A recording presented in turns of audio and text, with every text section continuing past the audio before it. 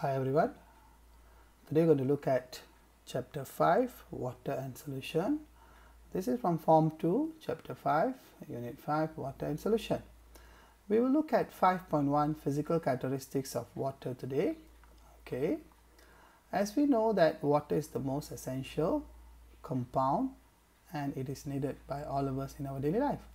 And if we see the whole world, if you see the globe here, almost 70% of the earth's surface is covered by water. As we know three quarter of the earth's surface is covered by water. All right? Okay let's start with the physical properties of pure water. What do we mean by pure water? Pure water should be H2O a complete H2O water without any presence of impurities. For example if you take a tap water I can't disclose or I can't explain or I can't tell that tap water is a pure water because it's not pure water Pure water normally we obtain by distillation. It's a pure component of H2O. The properties of pure water will be number one, density is 1 gram per cm cube, 1 gram per cm cube at 4 degrees Celsius. Then the boiling point of pure water is always 100 degrees Celsius. The freezing point of pure water is always 0 degrees Celsius. At the boiling point, the liquid will change to gas and at the freezing point, the liquid will change to solid. We also know that pure water is odorless, no smell at all and tasteless. There's no taste. Water actually do not have taste. Then if you look at another physical property of water is that if you look at it here, every water, when we pour water in a container or when we look at stagnant calm water, on the surface here there is a force.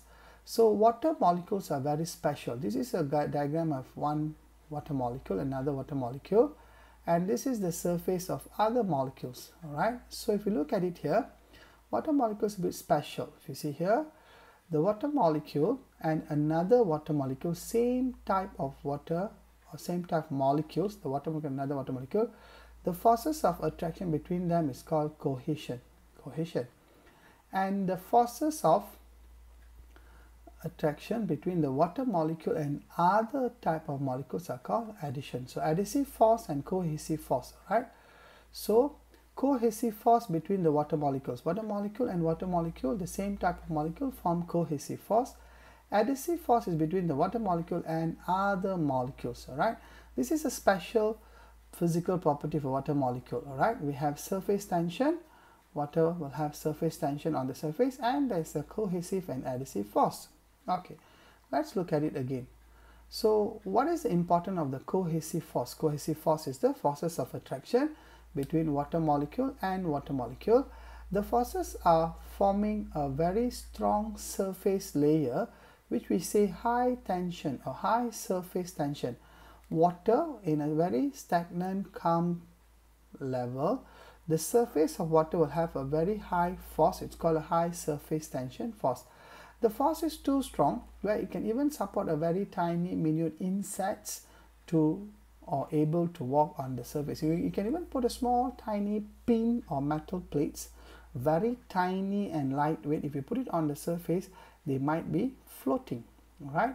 What is the importance of the cohesive and adhesive forces in other formation? If you look at it here, the capillary effect is the movement of water from the roots of plants, from the roots of plants, from the roots of plants where they are able to move through the stem and goes to the shoots and the leaves.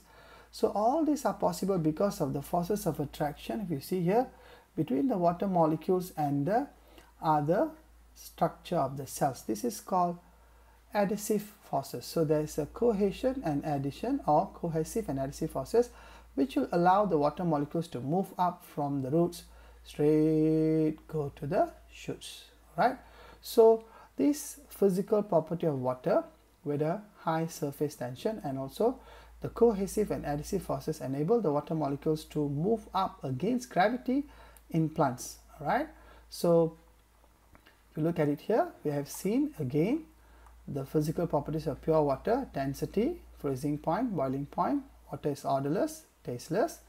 Then we look at the surface tension high surface tension force and we try to understand what is a cohesive and adhesive force then we look at the importance of the cohesive and adhesive forces. Next, the three state of water, as we all know, it will be the solid state, the liquid state and the vapor. Okay, next.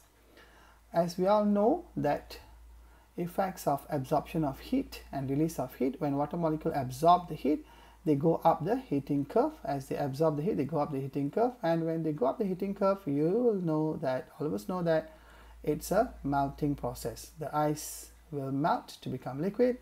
The liquid will form a gas, water vapor, right? So the solid to liquid is melting and the liquid to gas is evaporation or boiling.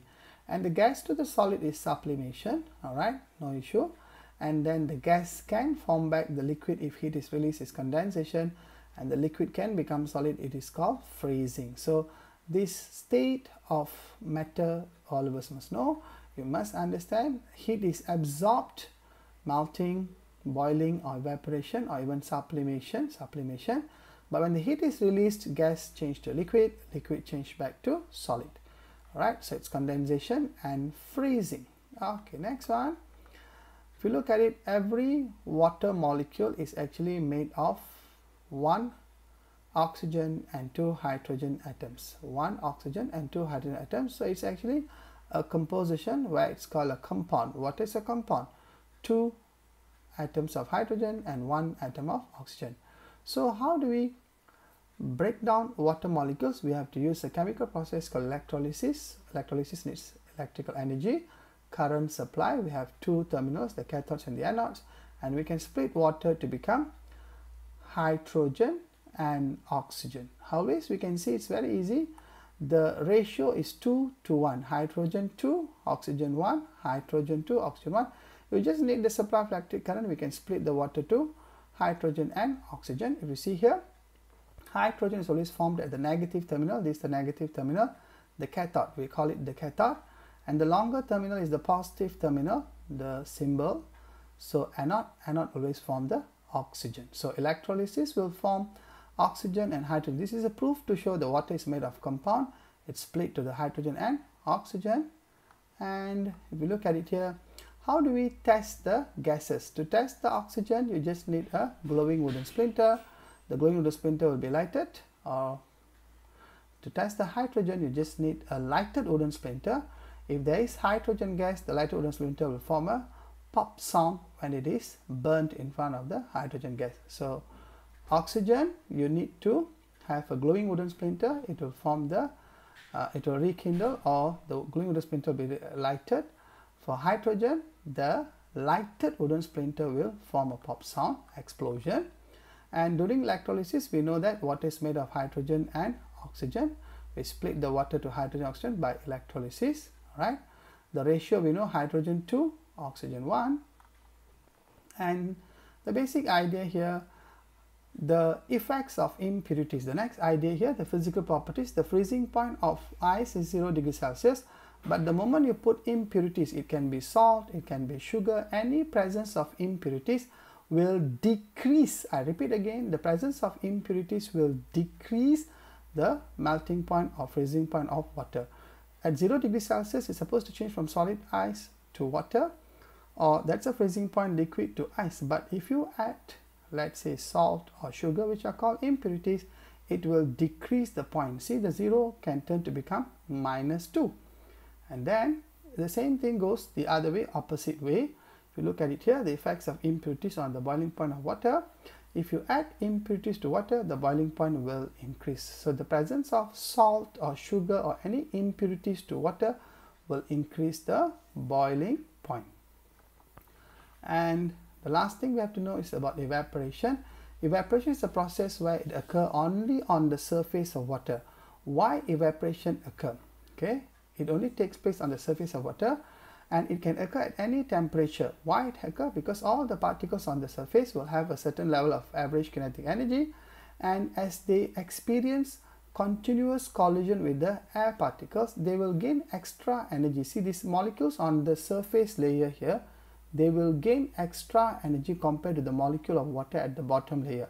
Since they have the extra energy, they can escape to the air and they form vapor, the gas vapor. So this process only occur on the surface, so it is called evaporation. In if you see evaporation occur every day, the plants undergoes evaporation from the transpiration, the humidity, all this happen daily, all right? What are the factors that affect the rate of evaporation? Very simple, humidity, where if there is a lot of water particles in the air, the humidity is higher. So very simple, the rate of evaporation is faster when the humidity is lower. So if the air contains less humidity, the evaporation rate from the surface of water is higher. First factor is the humidity. The lower the humidity of air, the higher the rate of evaporation. So dry air contains less vapor, water vapor, so evaporation occur at a faster rate. Surrounding temperature or even the liquid temperature, the higher the surrounding temperature, the higher the rate of evaporation.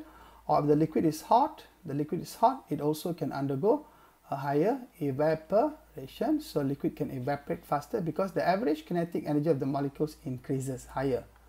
And surface area very simple. The larger the surface area of the liquid the more the number of particles can escape at a smaller time. The more the number of particles can escape so the rate of evaporation increases. The larger the surface area the higher the rate of evaporation and air movement if the speed of wind on the surface is higher the particles on the surface will undergo evaporation at a higher rate right so if i look at it here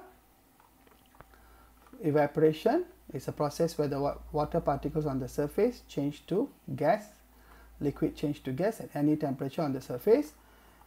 And the factors are humidity, the lower the humidity, the higher the rate of evaporation.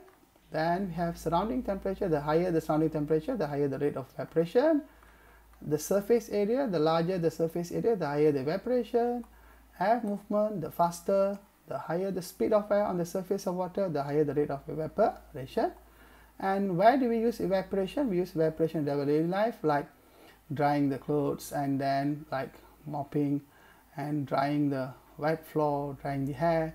And when we sweat also we evaporate. That also can cool down the body, alright? And the applications here, we use evaporation to form dry seafood, milk powder from solution of milk, salt in the seaside, natural salt in agriculture, the dried grains, fruits, all these are obtained through evaporation. So this is the process of evaporation needed in our daily life. So we are done with chapter 5, 5.1, the physical properties of water. Alright, physical characteristics of water. So we went through the whole chapter 5, uh, the subtopic 5.1 from chapter 5 today, physical characteristics of water. Thank you again, students. Bye.